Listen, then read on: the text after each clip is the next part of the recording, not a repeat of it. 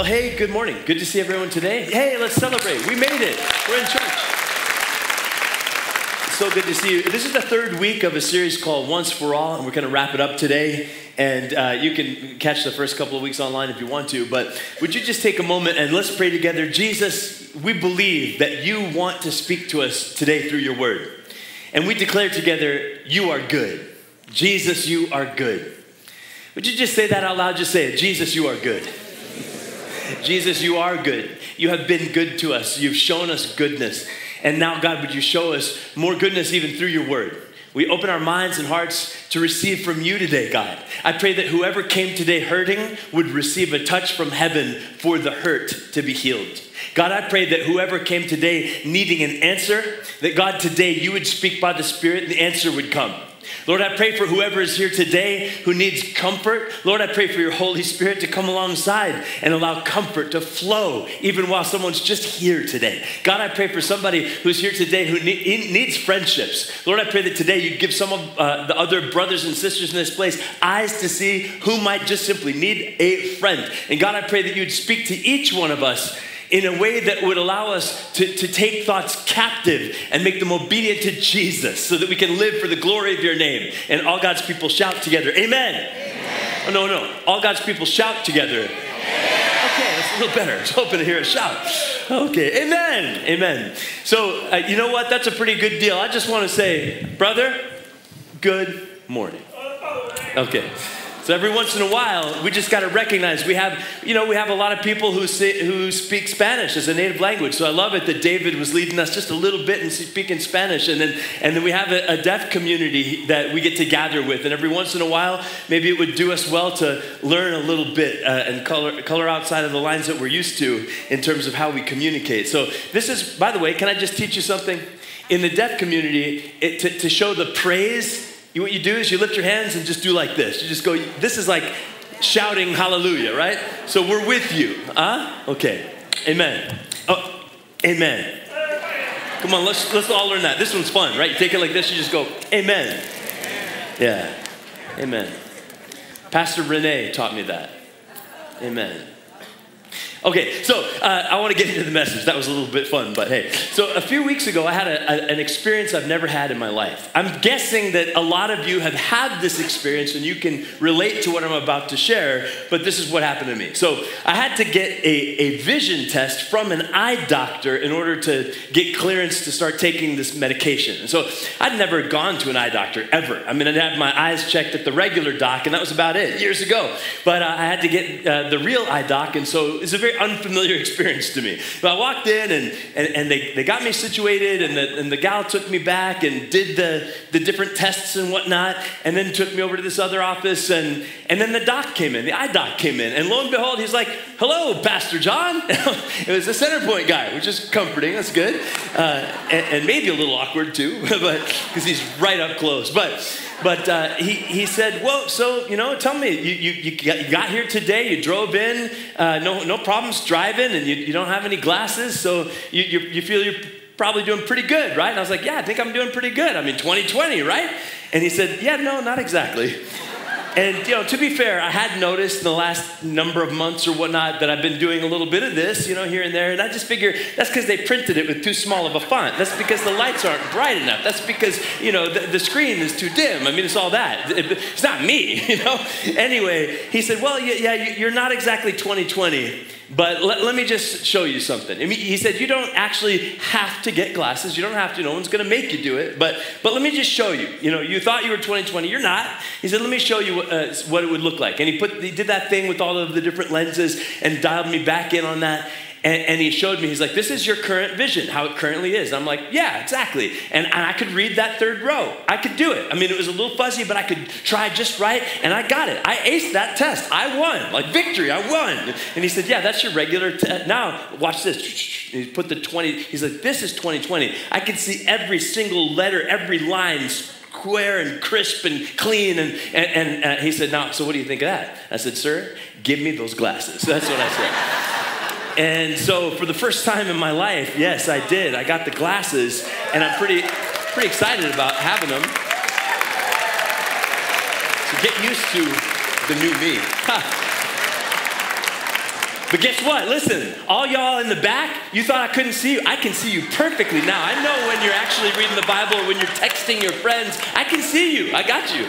Yeah. But I got these glasses, and these ones are, are, are, great because the bottom part is for reading, and then the top part is for distance. So if you see me doing like this, it's not because I agree with you. I'm just, trying, I'm just going between the two different parts of my glasses and trying to get used to it here. But so I got these new glasses, and the moment I put them on, I, I, can, I can totally see so much more clearly. I can see differently than I ever saw before, with so much crisp definition and, and, and such clean edges and, and, and with clarity. And this is an analogy. I'm going to use this as an analogy today. When you believe in the sacrificial death of Jesus Christ and the miraculous, victorious resurrection of Jesus Christ, they become like lenses that you put on and when you put on the lenses of faith in the death and resurrection of Jesus, you are able to see things that you never could see clearly before. You are able to understand the reality as you are intended in the Spirit to see it and experience the reality. And I am praying today that you and I would put on our spiritual lenses and see clearly the death and resurrection of Jesus and what it means and why it matters to you. So, I want you to think about the scriptures. Romans 6:10. Romans 6:10 says this. We, looked at it three weeks ago on Easter, but look at it again. It said the death that he died, talking about Jesus, he died to sin once for all. And the life he lives, he lives to God. Death and resurrection. Spiritual lenses. I want you to read this with me right, uh, right from the screen, nice and strong. Ready, go. The death he died, he died to sin once for all. The life he lives, he lives to God. So it's the death and resurrection of Jesus placed before you like lenses to put on so you can see clearly. And I want you to see clearly so that you can live well. If you don't understand the reality of sin or see it clearly, and if you don't comprehend the power of resurrection and live in it rightly, you're not going to live well. You might skid across the finish line and and make it into heaven. But God has a life for you to live. A life marked by increasing measure of freedom from sin and increasing degree of the power of the Holy Spirit lifting you up and giving you hope. And so I want you today to decide this is the kind of person I want to be. This is the kind of woman or man I want to be. Someone who lives my life through the, the lenses of faith in the Lord Jesus. And so, this is the declaration I want to invite you to make today. I live my life with lenses of faith in the Lord. Real simple. Just say it with me one time. I live my life with lenses of faith in the Lord.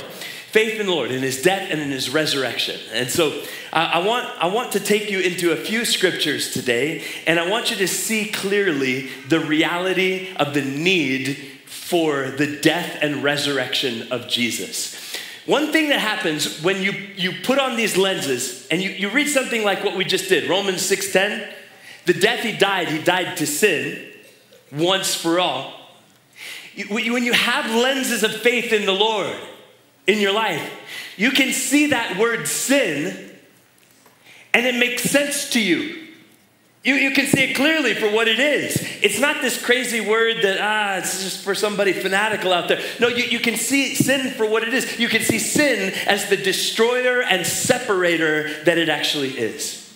And you can come to a clarity about that. And it allows you to, to recognize no, this is not an issue of God trying to keep me from having my fun. This is an issue of my Heavenly Father wanting me to live well and so I see clearly sin for what it is a separator and a destroyer. And I, I, see clearly the gap between who I am and where I am. And I begin to recognize that sin is an orientation of selfishness and rebellion to God, defiance of God. Like without the lenses of faith, it doesn't look like there's any problem. It just looks like, well, I just feel like I want to do that stuff. And it just feels like it's going to be a lot of fun. And I just feel like it'll feel real pleasurable for me. And I feel like I want to do more of it. So bring it on. And the world around us says, yeah, that's right, you do you. You go get yours. Have all the fun you want. Smoke whatever you want, drink whatever you want, have sex with whoever you want. Wait, just don't, just don't try to kill anybody, right? I mean, like that, that's the kind of uh, ethos of the world around us regarding sin. But the sin nature, the orientation of sin is to say, I defy God. I defy God. Who's God? Who's, who's anybody to say what I should or shouldn't do? I'll say what I should or shouldn't do. I'll determine what's right and what isn't right. But the lenses of faith allow you to see things clearly and go, ah, it, sin is a destroyer and a separator. And my God wants me to live well. And so He's allowing me to see that for what it is and my need for God. Because I, I recognize that God is speaking, I can receive what He's saying. So, Romans 3 20, 23 and 24, it says this All have fallen short of the glory of God. This is Romans 3 23 and 24. Uh, why don't you read it with me? Ready, go. For all have sinned and fall short of the glory of God and are justified freely by his grace through the redemption that came by Christ Jesus. This one verse is super important. How many of you are, are Christians? Raise your hand if you would say, I'm a Christian. I know I am. Okay, so for if you are a Christian, you should know two of the words that are used in this verse. Two of the words that are used in this verse are incredibly important, and they are the words justified and the word redemption. There's like ten, top 10 theological terms, and these are two of them. So I want you to know them. I want you to not be afraid of them, and I want you to understand the impact and the meaning of these particular words so that you will know who you are. So, uh, one more time, verse 24, just verse 24, just verse 24. Say it again out loud with me. Ready, go. And all are justified freely by his grace through the redemption that came by Christ Jesus. So the first part said, All have sinned. And so we're talking about once for all. That all includes you and me. Sin, apart from Jesus, that's what we got, is our sin. And we don't want to stay that way. And God doesn't want us to stay that way. So He provides something, and the something is listed right here. All are freely justified. Someone say, freely justified. Freely, freely justified, as it, first of all, it's free. You don't do something to earn it or deserve it, it is freely given to you. Freely justified. Shout that word again justified. justified. I want you to know this word, justified. It, it has a particular meaning, and it, it, it's this justified means to render, show, regard, or declare as innocent. It's a legal terminology in its usage around 2,000 years ago in the culture in which the Bible was written. I'm going to say it again to justify, to render, show, or regard, or declare as innocent. Do you know that's what Jesus does for you? Like, like he renders you, declares you, regards you, and shows you as innocent. But here's the thing I, I don't know about you, but I have a little problem, which is sometimes I'll read through the Bible. Like I'll read one of the Psalms where it says, I am innocent, O God. And I'll go, mm, I don't know I don't know if that applies. I'm pretty sure that doesn't actually apply to me. Am I the only one who, who, might feel that way? Like, I don't know if innocent is a word that actually applies to me. I mean, if it, if it were to mean perfect morality, never missing anything, right? I, then I'd have to be honest and say, I don't think I get there. But, but my God, through his word, says that through Jesus, I'm freely justified. Presented regarded, shown as innocent. It's like this it's like you're standing in the throne room of the judge of the universe, and Jesus, it's as, it's as though Jesus is saying, Yep, I know all about her. I know all about the things she's done that she shouldn't have done. I know all about the things that she did that she shouldn't do and that she hasn't done that she should do. I know all about the things that she thinks that she shouldn't. And, and, and nevertheless, Father, Look at me. See her through me. See her through my nail pierced hands. The price has been paid. Somebody say it, the price has been paid. Yeah, and so when the scripture says all are freely justified, you need to know that that applies to you. I, I do think it's holy and good to recognize all have fallen short of the glory of God, all have sinned, and that includes me. But the next part of this verse is incredibly important if you're a believer to know the gospel, to know I've been freely justified. Come on, somebody say it I've been freely justified. freely justified. Justified, to show or regard as innocent. He's done it for you. Justified. Somebody say, I'm justified. I'm justified. Say it again, I'm justified. Like you should actually smile about it while you say it. I'm justified. I've been demonstrated, shown as innocent. And then the second part of the verse are justified freely by his grace through the redemption that came through Christ Jesus. Somebody say redemption. Redemption, redemption is about value. Value. My first experience with the word redemption uh, happened with a soda can. Like being a kid, and there's a little word on the top of that soda can printed into the metal. It said redemption value. At least it used to, I don't know if it still does, but redemption value, five cents. And as a kid, I remember being on roller skates, and my dad would drive down the road, and we would be on roller skates and picking up soda cans from the side of the road and putting them in the back of the station wagon. Why? Because it said redemption. It means it had value. We could take those soda cans, turn them in, and get money. It was a good deal. And that was the, my first experience with the word redemption to know that it is about value, that something that would otherwise be regarded as trash actually is valuable. But it's more than that. The, the word redemption, to redeem, the biblical use of this word means to effect a liberation by payment of a ransom. Let me say it again to effect a liberation by payment of a ransom. That's what it means redemption. To effect liberation by payment of a, a ransom. It's like as though you were kidnapped and held as a prisoner of sin. Oh, without the lenses, you didn't see it that way. You didn't regard it that way. You were like, oh no, I'm just over here having a good time, just doing all the stuff that makes me feel so good. That's all. No, you were you were you were held as a prisoner of sin. And what you didn't know is how much destruction it was actually going to begin to wreak in your life.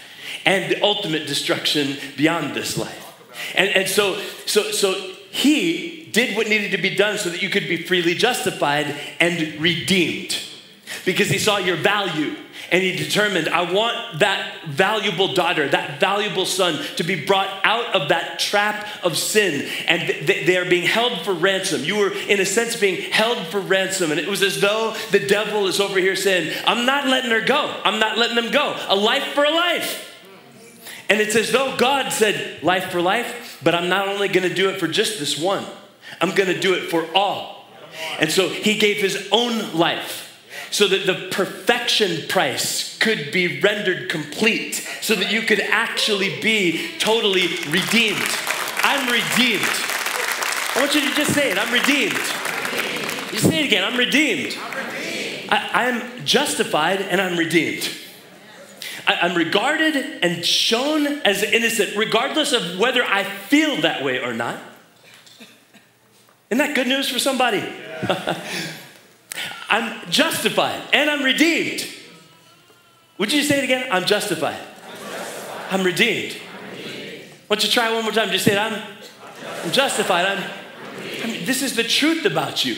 It's the truth about you, and it's the truth of the gospel and what Jesus has done for you. These are the lenses. And so, my determination is I live my life with lenses of faith in the Lord. That's the declaration of this message. Would you just say it one more time? I live my life with lenses of faith in the Lord. Okay, here's what I want to do right now is I want to, uh, to chase down what we began a couple of weeks ago on Easter Sunday. So, Easter Sunday, we opened up the Bible to Matthew 28, and I'm going to ask you to open up the Bible to Matthew 28 again today. And so, take out the scriptures, open up your Bible app, whatever it's going to be, to Matthew chapter 28. So on Easter Sunday, we, we looked at the first 10 verses where the, the, the women, Mary and Mary, they came to the tomb. It was empty. The angel said, He's not here, he's risen.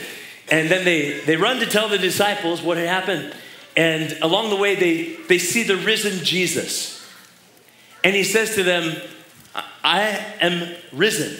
Go to Galilee and tell the other disciples to go to Galilee. It's like Jesus is saying, We're going to have a little powwow. We're going to have a little meeting up in, in Galilee. So get there. And, and then for the next 40 days or so, Jesus appeared in, in different ways to different people. But then the moment in Galilee happens. Wouldn't you want to know? I mean, if the risen Jesus says, Go to Galilee, wouldn't you want to know what happens there? Yeah, so that's what we're going to do today. We're going to jump back into Matthew 28 and, and follow this up. So, verse 11, it says, As the women were on their way, some of the guards went into the city and told the leading priests what had happened. A meeting with the elders was called, and they decided to give the soldiers a large bribe.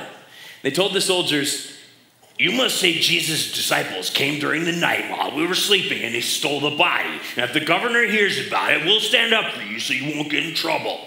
So if the guards accepted the bribe and said that they were told to say, and their story spread widely among the Jews, and they still tell it today. I'm to pause there for a moment. I want to acknowledge something. Like where it says that story spread among the Jews, I want you to keep this in mind. There was a much larger group of Jews that said, Our Messiah has come. And I'm always going to be grateful for all eternity that there were a whole group of, of Jewish believers that, that said, Jesus is the Messiah. He is the promised Messiah. And so, yes, there's a group of Jewish people there that said, no, no, no, we're going to tell this story about how it's not, it's not true. But there's a much larger group of Jewish men and women in that city that said, No, this is the message of the promised Messiah, and we have seen him and we know him. They carried that message for you and me. The fact that you and me are able to stand here today and say, I'm justified, I'm redeemed. You know why we get to say that? Because a whole group of Jewish people said, Our promised Messiah has come, and it's Jesus. And that's why we get this privilege of standing in this grace that we stand in today. So when, when I say something to the effect of, oh man, we need to be praying for the, the peace that, uh, that's needed in the Middle East, you, you should. With a heart of, of recognition that some of those believers there have descendants still in the land. You know, we're praying for them and with grateful hearts. But I want you to recognize too, it said that those Roman soldiers that were, uh, in effect, uh, representative of the government said, let's make up a story. And let's tell this story and get people to spread this story. And the intent of the story was what?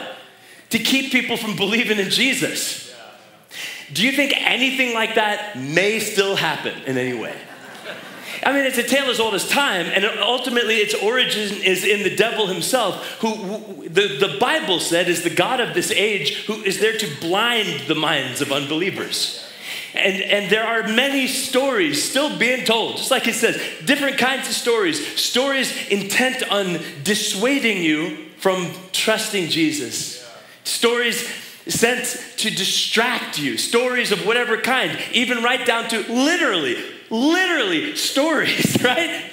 You can press on and watch a nine second story. Do you see what I'm saying? Like that, that issue of, of stories that are aimed at getting you distracted from Jesus, dissuading you from living a life of faith in the Lord Jesus, that is not new. That is, it's, it's here and it continues through history. But you, if you're a believer, you should be on the lookout for it. You should be able to distinguish between those kinds of stories that serve to distract you and dissuade you from your faith in Jesus and the truth of the gospel. So, why am I spending 20 minutes today talking about justified, redemption, and asking you to say those words? Because I want you to know what's been done for you. I want you to build your life on the truth of the gospel and not on some false story that the world would send your way. It matters too much what Jesus has done it's too good for you to not make the most of. So uh, back, back to Matthew 28. So verse 16 and 17, it said, when the 11 disciples left for Galilee, going to the mountain where Jesus had told them to go, and when they saw him, they worshiped him. But some doubted. Verse 17, one more time, it said, When they saw him, they worshiped him. But some doubted. Doesn't, doesn't that kind of pique your interest a little bit? To hear that among the actual 12 disciples, that there were some who doubted. And we don't know, was it Bartholomew? Was it Matthew? Was it Levi? Was it Peter? Like, who, who could it have been? We don't even know. We're not given that detail, but we get the headline. And it's important. I want you to see this. I, I think it's really important that you can see that even among the core of the leadership of what we would call the early church, there were a bunch of people that, just had their doubts. It's, it's actually kind of helpful to see it, isn't it? It just says that some worshiped him and some doubted. I'm guessing that in this room right now, this group of believers, there are some ready to worship him and some of us who are doubting. It's important to see it that in the earliest community, there was some kind of a place for the ones that, that hadn't quite figured it out yet, that weren't quite sure just yet, that were a little bit uncertain about this, that, that weren't, uh, were still wondering about things, that were maybe still working on how, how are these pieces going to fit together or not. And I have some questions. I'm, I'm uncertain. And, and I want you to just allow let that moment in the Bible to be present before you.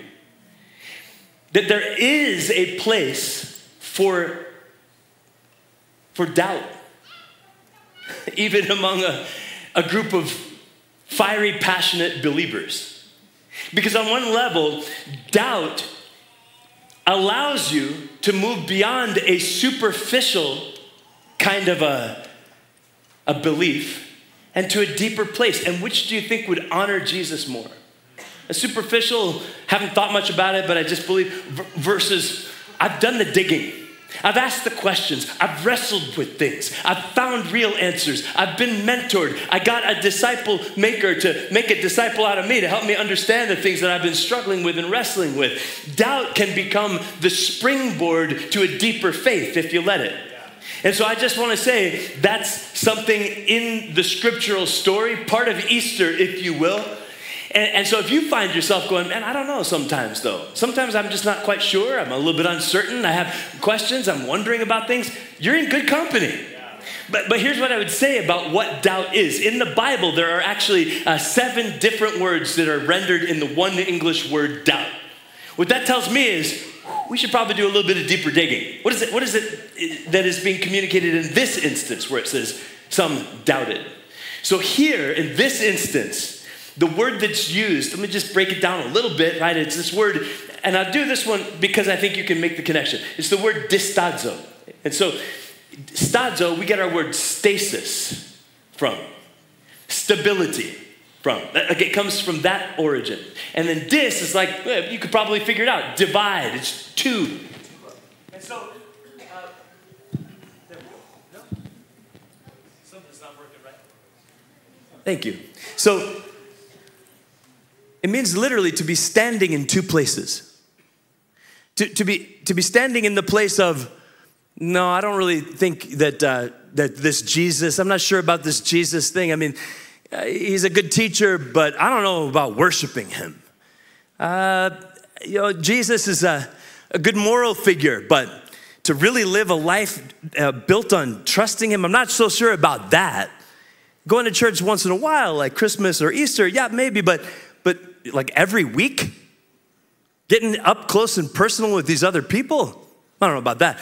To stand in that place and then to stand in a different place, which is he is the Son of God, the Savior of the world. He has taken away my sin through his sacrificial death on the cross, and he's really alive. And I honor him as the risen King and the risen Savior. Now that that that is standing in two places, and you can see how that's not going to work for very long. In this case, the purpose of the doubts is to urge you, to nudge you to a place of saying, I need to work on, I need to work through the things I'm wondering about. I need to dig deeper and make some discoveries about what I'm wondering about, to come to a place of clarity in my pursuit of understanding of a life with Jesus. And so now I got to complete the, the scripture here. It says in Matthew 28 18, it says, Jesus came and told his disciples, I've been given all authority in heaven and on earth. Therefore, go and make disciples of all the nations, baptizing them in the name of the Father and the Son and of the Holy Spirit, and teach these new disciples to obey all the commands that I have given you. And be sure of this, I am with you always, even to the end of the age. So we identified in this once for all scenario that, that the all includes us because all have sinned, but then all are freely justified through the redemption that's available in Christ. Everyone say all. I'm part of the all. Every single one of us. I'm part of the all, and I'm grateful. And now we come to a different all that is just as important, and it's the all spoken by Jesus in Matthew 28. He says, first of all, I'm going to read this text one more time, verses 18 to 20. Jesus came and told his disciples, I have been given all authority in heaven and on earth.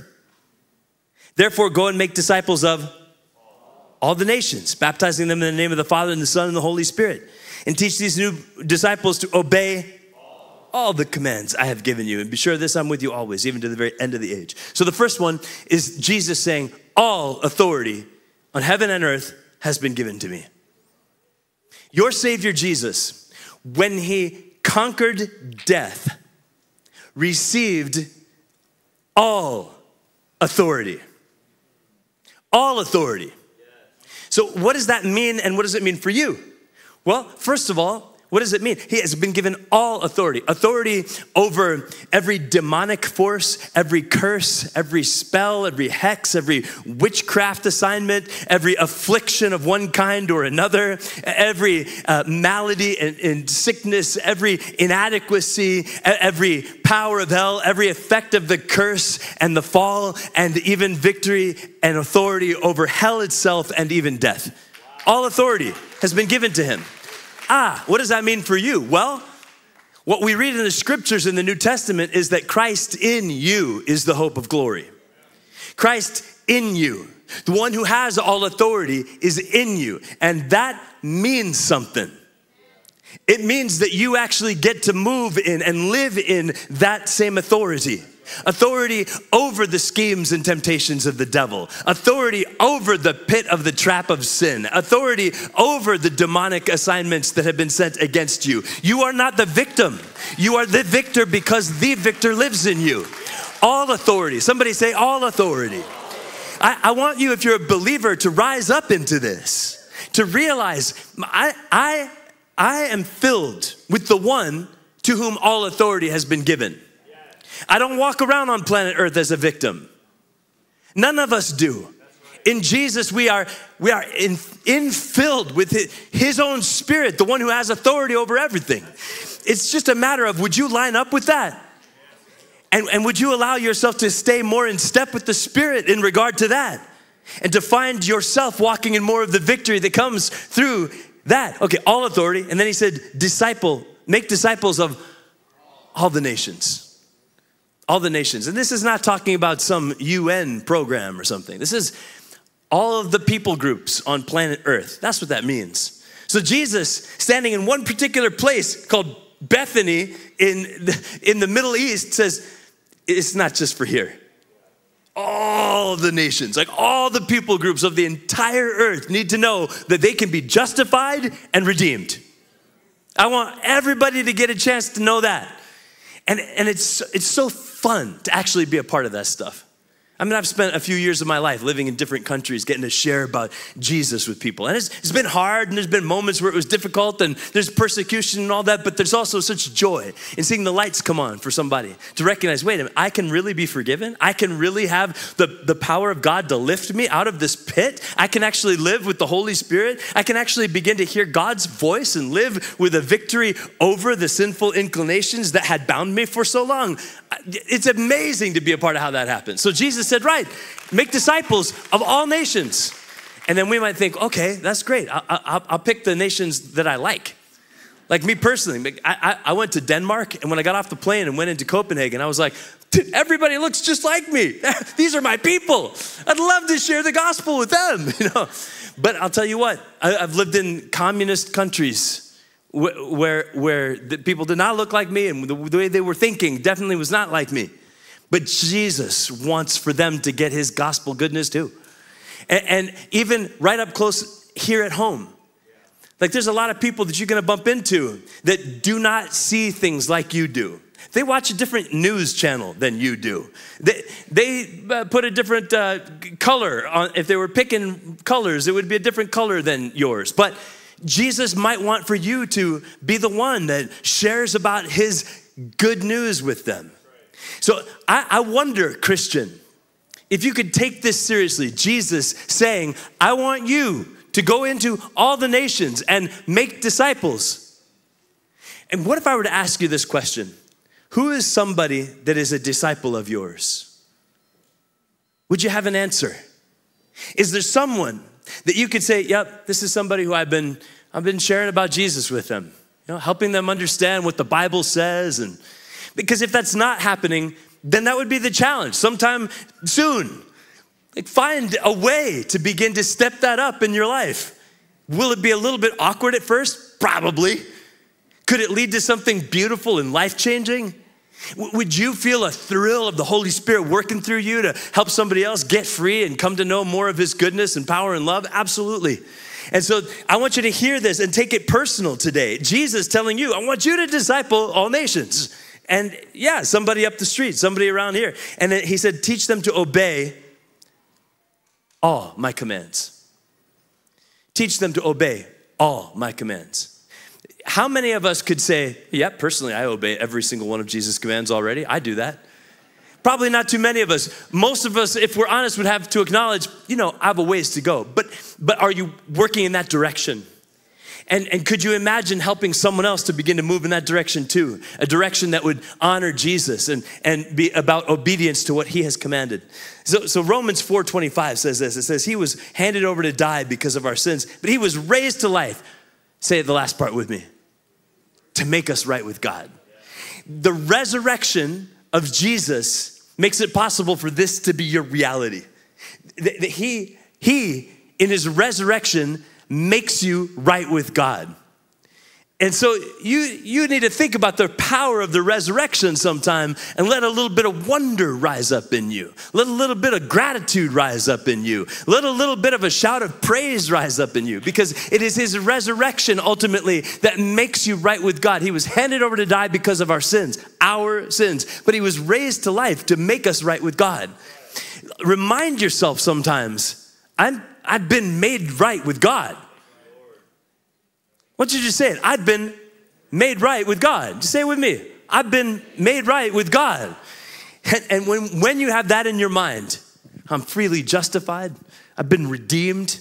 Now, now we understand what those words are about. That, that, that there's been a, a way in which Jesus has demonstrated or shown or regarded and caused you to be regarded as innocent. That's justified. Redeemed is about the value that he saw in you and pulling you to a place where you're free from the, the trap of sin because the ransom was paid. I'm justified, I'm redeemed, and I'm part of his kingdom, making disciples. Okay, so Matthew 28 has Jesus giving this word of commission to the disciples go into all nations, make disciples. But there's something that happens after this moment. And for whatever reason, Matthew didn't put it in his book. And when you read all of the gospels, each of the gospel writers show how they perceived what took place. And so Matthew gives us one thing, but Luke shows us what I would regard as the final moment. So what happens is Jesus, after his resurrection, he appears to the 11 disciples one, one moment on a, on a Galilee shore to cook them a fish breakfast. And then in another moment, he appears to two of the disciples as they're walking along a road to a place called Emmaus. And then he shows up to the 11 disciples another time in an upper room where he, he breathes on them and says, Receive the Holy Spirit and forgive as you've been forgiven. I'm sending you. And then there's another moment where he appears to 500 of the disciples. So this is all happening over about a month and a half after what we call Easter. And then this moment happens that's recorded in Luke 24. So if I were to cap off Easter, I'd have to go all the way here to Luke 24. And it says this it says that after this moment where Jesus commissioned the disciples, it says, Then Jesus led them to Bethany and lifting his hands to heaven, he blessed them. And while he was blessing them, he left them and was taken up to heaven. And so they worshiped him. And they returned to Jerusalem filled with great joy. And they spent all their time in the temple just praising God. I want you to recognize this. When you worship Jesus, it can bring great joy.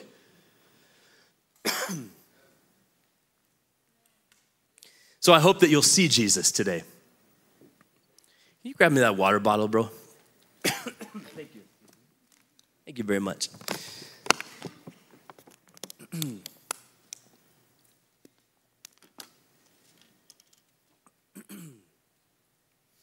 so that eye doctor, when I walked into that office, it was a foreign place to me. I'd never really been in an eye doctor place before. I'm gonna get the worship team to come on back out because I think I'm not gonna be able to talk for too much longer.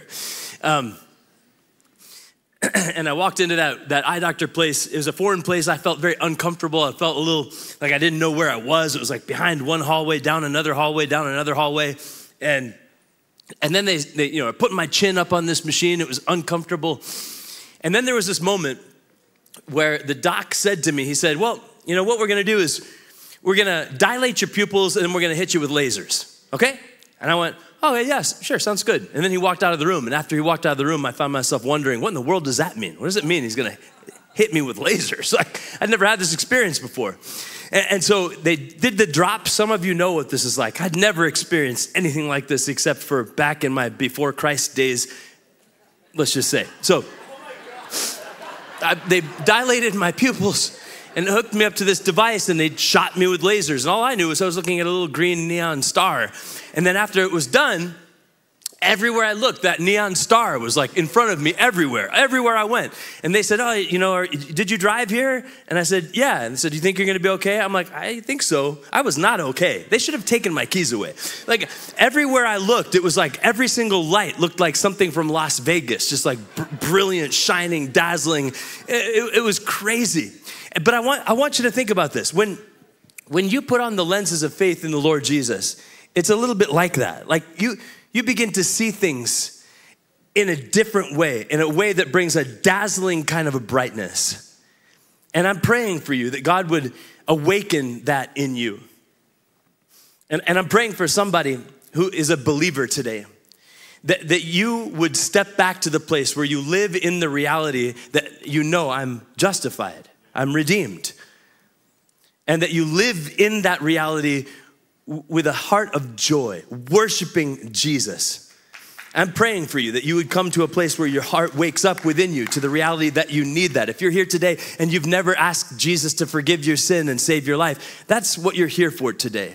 To start a relationship with Jesus so that you can know I am justified, shown, regarded, as innocent. I'm redeemed. My God sees the value in me enough to pull me out of the trap of sin by paying the ransom. God wants that for every single one of us to live with the strength and the confidence that comes from knowing I'm justified, I'm redeemed. Devil, you can't have me because he already got me. So let's take a moment and just pray together. Father in heaven, I thank you for your word. I thank you for the life that's in your word. Thank you, God, for giving us clarity to know just exactly what happened. Jesus, when you died and when you rose again. Thank you that it's more than just a story or a tale of something that happened, uh, like we sing, on a hill far away, but it's, it, it's earth shattering for all eternity in what it means.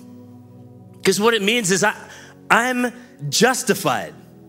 I, am regarded and shown as innocent. I'm redeemed. The ransom has been paid for me to be pulled out of the trap of sin. So, Lord, I pray for somebody right now who's a believer, but who somehow uh, you, you're here in church and this is good, but you've somehow allowed yourself to drift back into sin. And Jesus has already paid the price, the ransom price, for you to be able to be free from the power of sin. And I'm praying that even now in this moment, that for somebody, this would be the moment where you finally agree with heaven that there is a way for you to live free from that sin. It's time. It's time for you to say, Jesus, help me. And I believe that as you just cry out, Jesus, help me. He hears the cry of faith. He hears it, and He'll come through. It's what He does. So, Lord, I pray that you do a spiritual awakening for somebody else today, too, that just needs to once and for all say, Yes, Jesus.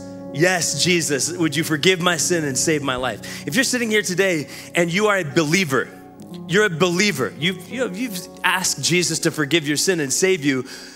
Maybe it's a while ago now, but you found yourself kind of drifting back into a place of, of sin. You've just gotten into some stuff and you feel like you're almost stuck again. I mean, everybody's kind of eyes are closed and whatnot and praying, but if, if you're struggling, you're a believer already, but you're struggling with sin that you've gotten yourself back into, and you want to ask Him to help you, would you just raise your hand with me, just as a way of saying, Yes, I'll admit it. I need Him to help me. There's a bunch of us, and I'm proud of you for having the humility to acknowledge it rather than play religious games and try to cover it up. And there's probably some others of us, we just don't want to raise our hand because we don't want somebody next to us asking us questions. But Lord, for those of us who have a hand raised, we're crying out, Help, Lord.